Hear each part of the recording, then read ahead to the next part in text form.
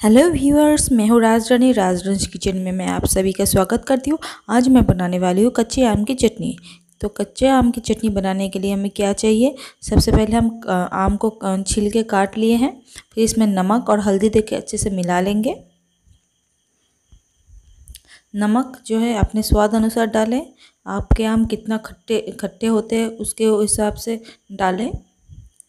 मैंने यहाँ पे दो चम्मच डाली है, दो टीस्पून। और हल्दी डाल के अच्छे से मिला लिया है।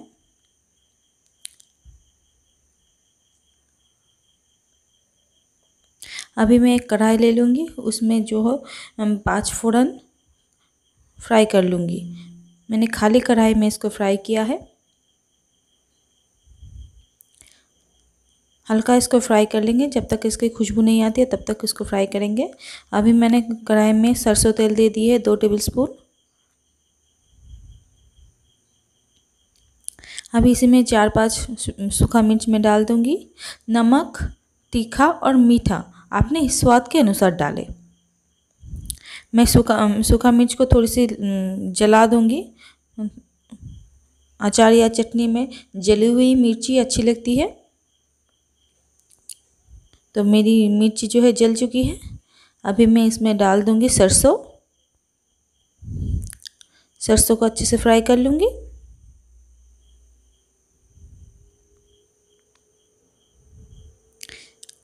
मेरी सरसों जो है फ्राई हो चुकी है। अभी मैं इसमें डाल दूँगी गुड़। ये मैंने यहाँ पे खजूर का गुड़ लिया है। आप चीनी भी यूज़ कर सकते हैं। इक का गुड़ भी यूज़ कर सकते हैं। यहाँ पे मैंने 300 ग्राम ग्राम के करीब गुड़ लिया है। आपके आम कितना खट्टे होते हैं, उसके ऊपर हिसाब ये निर्भर करेगा।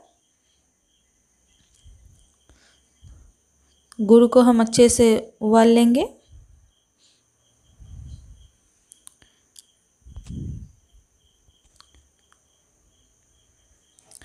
गुड़ को हमें थोड़ा सा थीन होने तक पकाना है।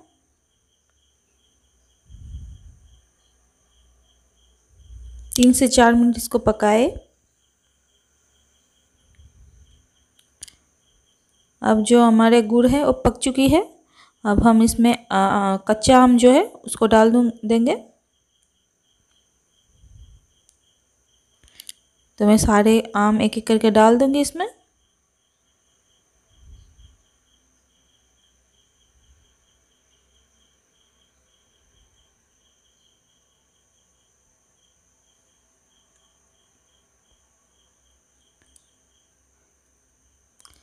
आम को हम पकने देते हैं, तब तक हम जो मेरा फ्राई किया हुआ मसाला है, इसको हम थोड़ा सा क्रश कर लेते हैं।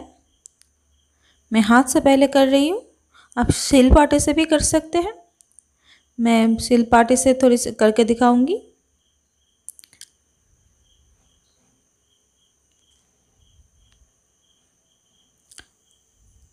ये मैंने पाटा ले लिया है।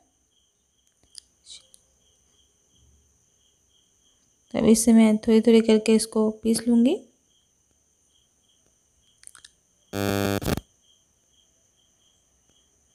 हमें इसको दर दरा पीसना है। पूरा पाउडर नहीं बनाना है इसलिए हम ऐसे ही कर रहे हैं।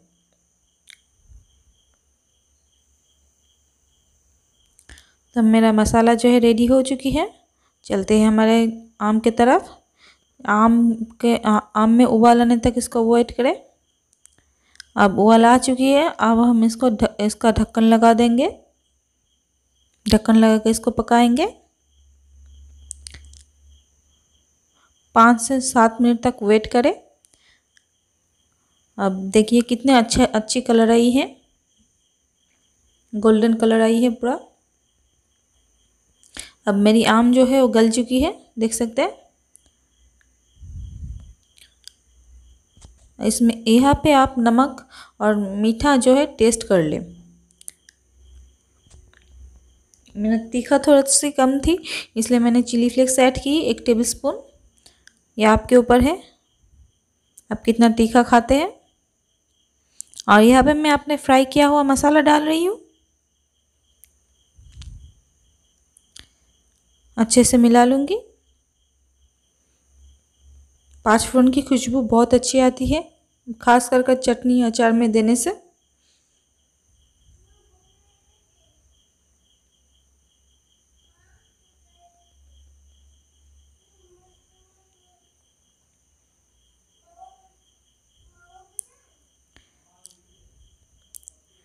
मेरी चटनी जो है बन गई है। अब हम इसे डिश आउट कर लेते हैं। हम एक कटोरी में ले लेते हैं। देखिए, कितनी सुंदर बढ़िया कलर आई है। ये गुड़ गुड़ से मैंने बनाई है, इसलिए इतना सुंदर कलर आई है। आप लोग इसे चीनी से भी खा, बना बना के खा सकते हैं। अब हम इसके ऊपर थोड़ा सा फ्राई किया हुआ मसाला और थोड़ी सी चिली फ्लेक्स डाल देंगे। खाने के टाइम थोड़ी सी ब्लैक सॉल्ट काला नमक डाल के खाए बहुत अच्छी लगती है और इसी এই ভিডিওটি বাংলায় দেখার জন্য আমার অন্য চ্যানেলে গিয়ে দেখতে পারেন রাজরানীস लाइफस्टाइल एंड ब्लॉग्स तो आज के लिए इतना ही मिलते हैं हमारे नेक्स्ट वीडियो पे थैंक यू